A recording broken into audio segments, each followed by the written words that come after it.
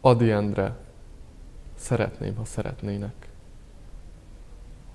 Sem utódja, sem boldog őse, sem rokona, sem ismerőse, nem vagyok senkinek, nem vagyok senkinek. Vagyok, mint minden ember, fenség, éjszak, fog, titok, idegenség, lidérces messze fény, lidérces messze fény. De jaj, nem tudok így maradni. Szeretném magam megmutatni, hogy látva lássanak, látva lássanak. Ezért minden önkínzás, ének, szeretném, hogyha szeretnének. És lennék valakié, lennék valakié.